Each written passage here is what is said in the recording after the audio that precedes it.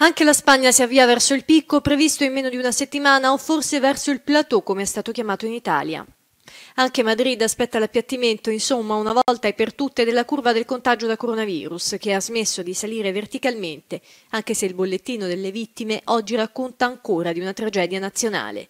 Ci sono scritti 864 nomi, sono morti in 24 ore, un nuovo record, e da ormai 5 giorni la Spagna supera le 800 vittime quotidiane.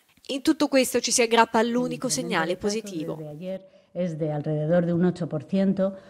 La crescita dei nuovi contagi è intorno all'8%, questo ci dice che siamo in uno stadio di stabilizzazione della pandemia.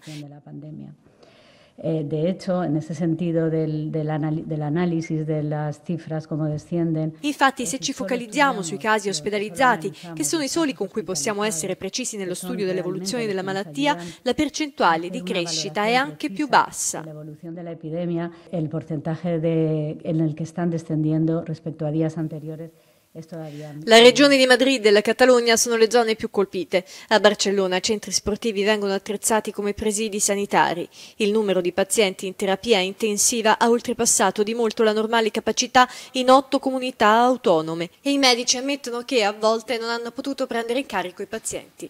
Intanto le misure di confinamento diventano più restrittive e sempre più comuni per impedire che le persone facciano spesa tutti i giorni.